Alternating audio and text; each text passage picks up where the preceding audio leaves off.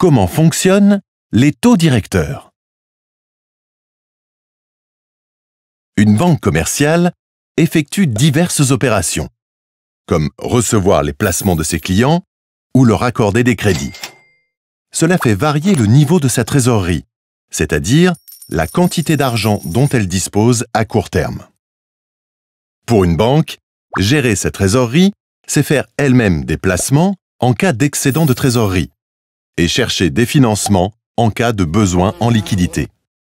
Pour cela, la banque commerciale peut s'adresser soit à la banque centrale de son pays, soit à d'autres banques commerciales sur le marché interbancaire, soit encore à d'autres acteurs financiers. Dans la zone euro, la banque centrale, c'est l'eurosystème, regroupant la BCE et les banques centrales nationales. Dans le cadre de sa politique monétaire, l'eurosystème propose habituellement aux banques commerciales trois types d'opérations, avec trois taux d'intérêt différents que l'on appelle taux directeurs.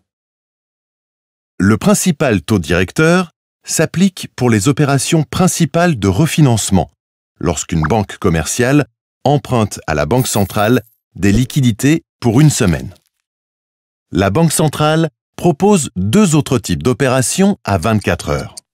Elle peut prêter à une banque commerciale ayant un besoin urgent de liquidité en facturant un taux plus élevé, celui de la facilité de prêt marginal.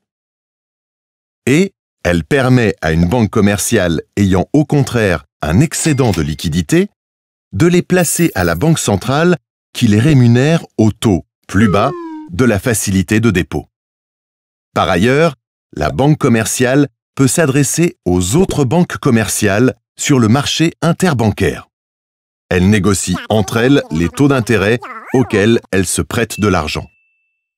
Dans la zone euro, le taux d'intérêt interbancaire à 24 heures évolue habituellement dans la fourchette de taux directeur de la Banque centrale, appelée corridor des taux d'intérêt à court terme. En effet, une banque commerciale ne prêtera pas son excédent de liquidité à une autre banque à un taux inférieur à celui que lui propose la Banque centrale. On dit alors que le taux de la facilité de dépôt est le taux plancher du marché interbancaire. À l'inverse, aucune banque commerciale ne se refinancera sur le marché interbancaire à un taux supérieur au taux de la facilité de prêt marginal proposé par la Banque centrale, qualifié donc de taux plafond. La Banque centrale utilise les taux directeurs pour piloter les taux d'intérêt des banques commerciales et influence ainsi le niveau de l'activité et des prix dans l'économie.